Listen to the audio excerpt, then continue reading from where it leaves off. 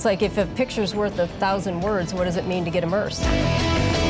I'm Richard Ryan, and today I am joined by Elizabeth at the Five. Now, what does the Five stand for? The Ford Immersive Vehicle Environment, and you are actually standing right inside of a Mustang right now. I'm standing in a Mustang. Back in 2004, I made this title of Virtual Reality and Advanced Visualization Technical Specialist because I wanted to bring those two worlds together. What do you guys use this for? It seems like a big empty space, but it's actually not. It's occupied by any vehicle that we're looking at producing. So somebody will spend hours looking at the outside of the vehicle, checking out 400 different interfaces. And then they'll come back the next day and look inside the vehicle and look at 450 different interfaces. That's so cool. So you can be in Australia and I can be here in Dearborn, Michigan, but I see you just like you see me now. In the back seat. Yeah, exactly.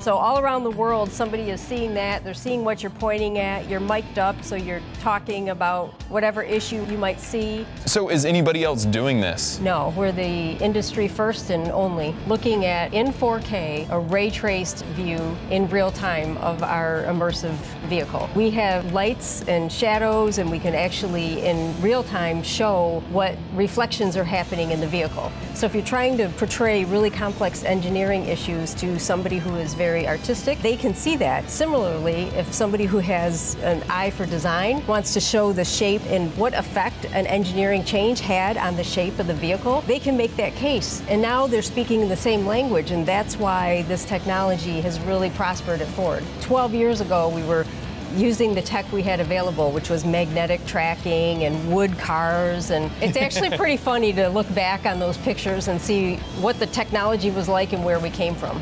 We had a lot of fun checking out the Five Lab here at Ford. If you guys want to see more from our trip to Dearborn, make sure you check us out on YouTube at Rated Red. I'm Richard Ryan.